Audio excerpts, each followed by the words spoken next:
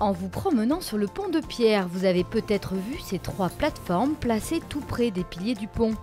Embarquement pour se rendre au plus près du projet sur ce site expérimental de production d'électricité.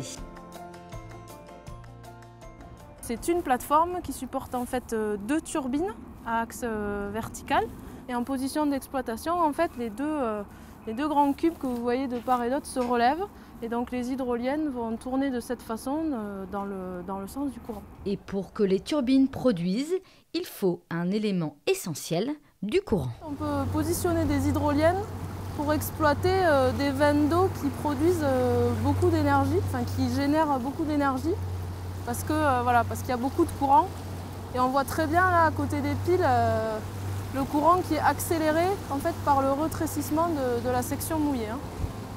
Des câbles électriques sont reliés à la berge pour alimenter la ville avec cette énergie propre. Un projet d'envergure financé par de nombreux acteurs, dont la métropole.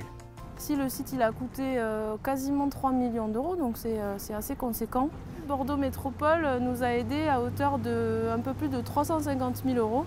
Donc voilà, sans ça, on n'aurait pas fait le projet. Sans le retrait de l'un ou l'autre des partenaires, le projet n'aurait pas existé tout simplement. Un site sous haute surveillance à quelques centaines de mètres de là. Sur ces écrans, en fait, c'est une euh, carte bathymétrique de la zone de- sur laquelle on travaille, c'est Néo. On fait des levées réguliers pour étudier, les, pour voir s'il y a un impact euh, des hydroliennes installées sur, euh, sur les fonds. Là, ce que je vois, c'est qu'on a des vitesses de courant qui, qui varient sur la colonne d'eau. C'est l'énergie cinétique, et l'énergie cinétique, ce sera l'énergie qui sera tran- transformée en énergie électrique, et donc euh, ça nous permettra d'avoir un projet viable par la suite.